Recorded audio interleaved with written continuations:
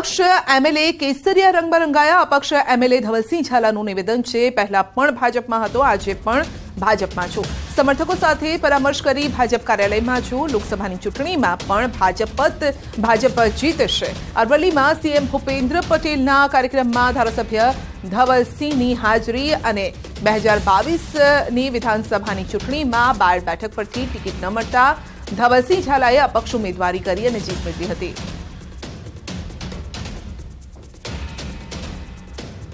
ભારતીય જનતા પાર્ટીના કેસરિયામાં તો પહેલેથી રંગાયેલો જ હતો અને ભૂતકાળમાંય પાર્ટી સાથે જ કામ કર્યું છે ને ભવિષ્યમાંય કરવાનો છે. એટલે આમાં કંઈ નવું નથી.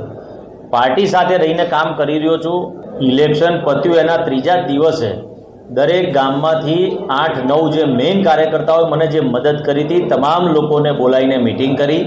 મિટિંગ કરીને એમની સાથે ચર્ચા કરી અને એમનો ઓપિનિયન લીધો. તેના તમામ પુરાવા પણ મારી સાથે છે.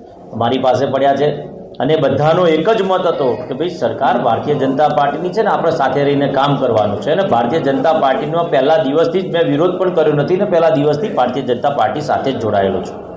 લોકસભામાં સાબરકાંઠાની સીટ અને આમ તો ગુજરાતની છવ્વીસે છવ્વીસ સીટ, એ ભારતીય જનતા પાર્ટીનો કમળ ખીલવાનું છે, એ નિશ્ચિત છે.